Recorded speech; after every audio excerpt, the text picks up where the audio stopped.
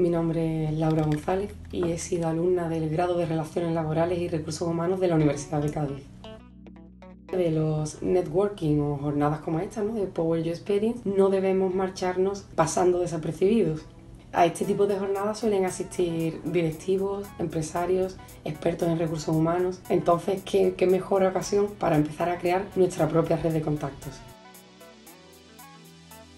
Como en casi todas las charlas y ponencias, al final se abre un turno de preguntas. Y fue ahí cuando aproveché pues, para lanzar la mía y en poco menos de un minuto hacer un breve resumen de, mi currículum.